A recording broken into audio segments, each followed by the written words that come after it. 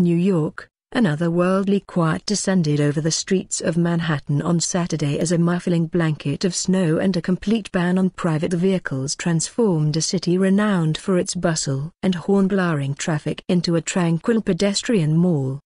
As a blizzard that seemed destined for the record books intensified, officials closed all bridges and tunnels into New York and banned all but emergency vehicles from its roads.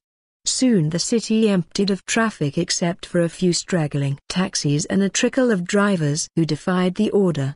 The void was quickly filled as tourists bundled against the driving snow and wandered through intersections, taking selfies on their smartphones, making snow angels in the snowdrifts of Times Square and huddling in coffee shops to warm themselves.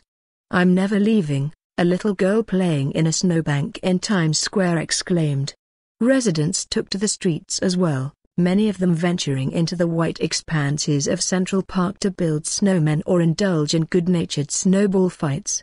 Except for the chatter of the merrymakers, the primary sounds of the streets were snow shovels striking pavement, the occasional police car siren and the hum of snowblowers.